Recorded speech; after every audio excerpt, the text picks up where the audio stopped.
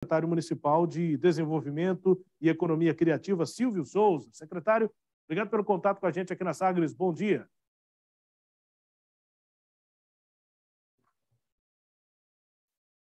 O senhor está sem áudio aí no Zoom, secretário. Habilita o áudio. Ah, me, me desculpe, me desculpe, Rubens. Bom dia. Agora sim, bom, bom dia, dia, a todos. Bom dia, Samuel. Bom dia, Rubens. É um prazer estar aqui com a Sagres e, e, e, assim, muito, um prazer maior ainda anunciar coisas boas. Né? Goiânia teve aí, o município teve um, uma variação positiva, a melhor variação positiva das, entre as capitais do Centro-Oeste. Isso se dá em, em, função da adoção das políticas que o município vem desenvolvendo nessa retomada econômica e, naturalmente, isso está é, tá refletindo aí na nossa posição. Né? A, o nosso Cine Municipal uh, o nosso pessoal do, da, da base com, com a captação de vagas, com essa interação com o setor produtivo, tem conseguido ofertar boas vagas, um, um volume bom de vagas semanalmente, e isso refletiu naturalmente nesse desempenho. Né? Então, uma, uma, uma, um desempenho bastante positivo. Setor de serviços, é, desculpe, tem um delay, secretário, e aí o senhor termina de falar, até eu começar a perguntar demora um pouquinho. Mas isso tem a ver com a retomada do setor de serviços, é, em comparação com outros setores da, da economia que, nesse pós-pandemia, ainda não estão no mesmo ritmo. Né? A agroindústria, a indústria, que em Goiás também é forte, não está no mesmo ritmo de retomada. E Goiânia é forte nesse setor de serviços. Essa é a análise a princípio econômica? Com certeza, com certeza, Rubens. O setor de, de serviços foi o que deu a melhor resposta nesse período de retomada é, naturalmente, foi a maior oferta de vagas, é, o setor de serviços, seguido aí da, da, da construção civil né, e, e, e, o comércio em terceiro lugar. Mas é, o setor de serviços vem respondendo bem há alguns anos, o setor de serviços vem é, numa crescente, e nesse momento de retomada econômica, muitas, muitas empresas do setor de serviços foram abertas em Goiânia, município de Goiânia. E, e nós, aqui na SEDEC, temos feito tudo para facilitar o processo de abertura de, de empresas, seja ela em qualquer setor, mas especialmente é, no setor de serviços e atividade de baixo risco, que atividade de baixo risco em alguns estados nem a, a necessidade do alvará existe hoje. E o prefeito Rogério Cruz já pediu que nós desenvolvêssemos um projeto aqui na SEDEC para facilitar essa abertura dessas empresas e, naturalmente, criar um ambiente positivo para que novas empresas, sejam de serviços ou, ou mesmo de produtos, venham para, Goiânia, para o município de Goiânia. Destaque, portanto, para Goiânia, aí no cenário de geração de empregos nesse pós-pandemia. Também com as questões de Samuel, estarei outro secretário de Desenvolvimento e Economia Criativa, Silvio Souza, conosco. Samuel. Secretário, bom dia, obrigado aqui por, por nos atender. É, secretário, quanto à aplicação do novo Código Tributário aqui né, nessa área de abertura de empresas, esse era um objetivo, nessa proposta que o senhor acabou de dizer ao Rubens, né, de é, facilitar a abertura de empresas, né, consequentemente também aumentando a geração de empregos, a aplicação do novo Código Tributário já, já pode ser sentida nesse aspecto ou ainda não? Há mecanismos que precisam ser implantados para poder é, facilitar essa abertura? Samuel, uh, muito boa a sua pergunta. Nós estamos em contato constante com a Cefim. É, por quê? Porque o Código Tributário tem algumas situações que precisam ser regulamentadas. Então, por exemplo, nós temos nichos específicos, empresas de nichos específicos que operam em Goiânia com alta, com alta performance, como o pessoal de call center, por exemplo, com alta produção de vagas, e, e tem a questão do benefício, né, e que precisam ser regulamentados. Algumas dessas empresas com contrapartidas bem interessantes para o município, né, como a qualificação, né, a, a, formação e a qualificação em contrapartida. E nós estamos fazendo toda a gestão junto à Cefim, o secretário Vinícius tem sido extremamente sensível a isso, e, e obviamente, a SEDEC tem buscado é, essa regulamentação de vários nichos de empresas que têm nos procurado para que tenham um benefício tributário e possam se instalar no município de Goiânia. Obviamente, é, isso requer segurança jurídica, com aplicação do Código Tributário, Por isso, a gente está aqui é, trabalhando todos os dias é, intersecretarias para que a gente possa propiciar esse ambiente é, bastante positivo para essas empresas virem para Goiânia. A secretaria, claro, tem acompanhado a movimentação econômica da cidade. Dá para perceber que mesmo em um momento de crise, a gente teve aí fechamento de atividades 2020, 2021 por conta da pandemia.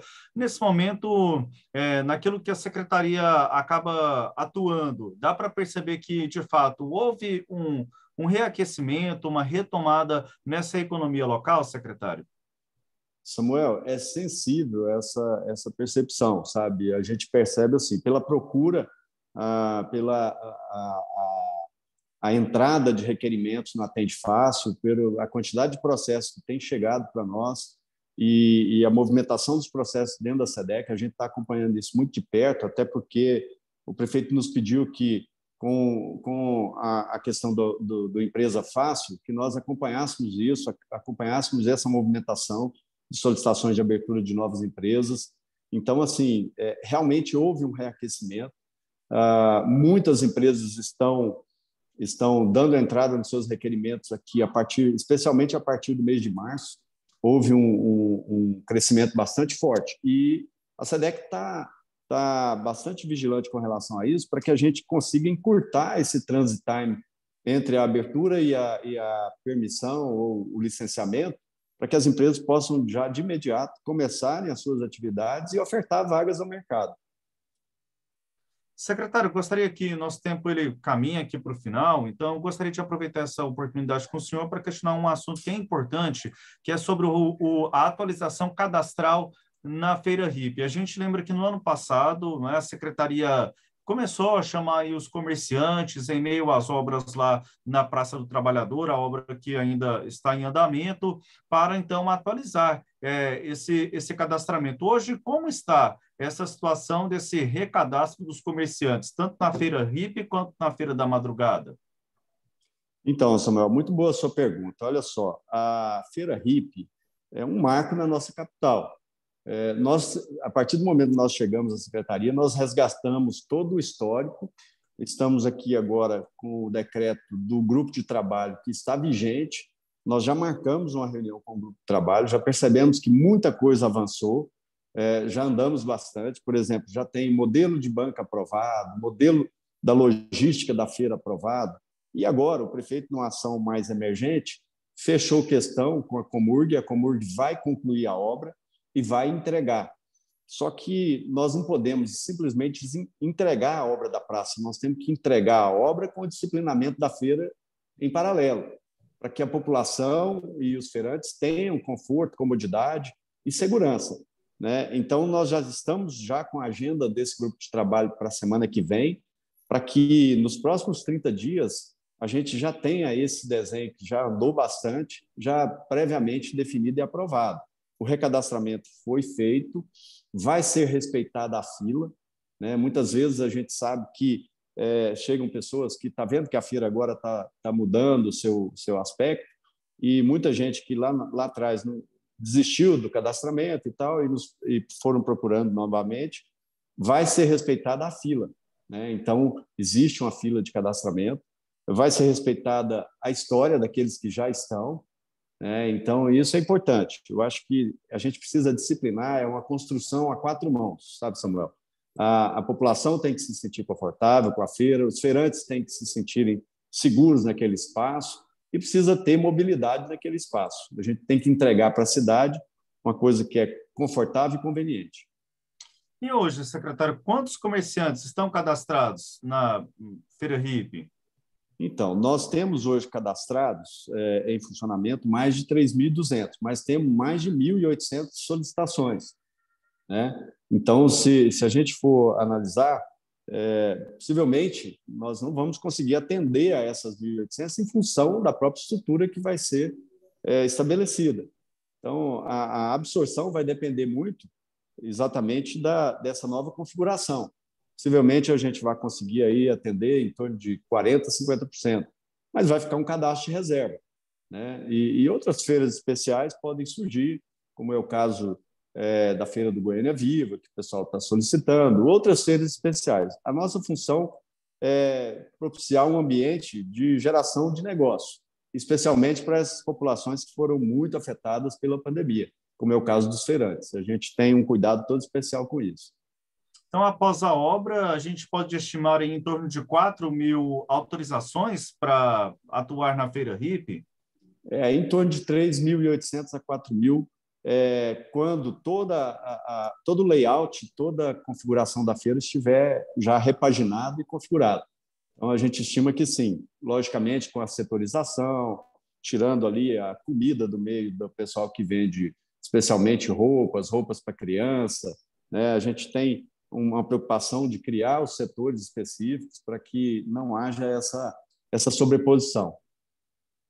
E nesse aspecto, eu já ouvi diversos é, relatos, secretário, quanto ao número de feirantes que estão ali. E há números, né, claro, não da prefeitura, o senhor ressaltou aqui para a gente, explicou os números, mas de que o número de comerciantes pode chegar até 8 mil naquele local um, a prefeitura tem conhecimento desse número maior de comerciantes que estão ali e até mesmo no sentido de evitar algum tipo de conflito quando passar esse período de obras?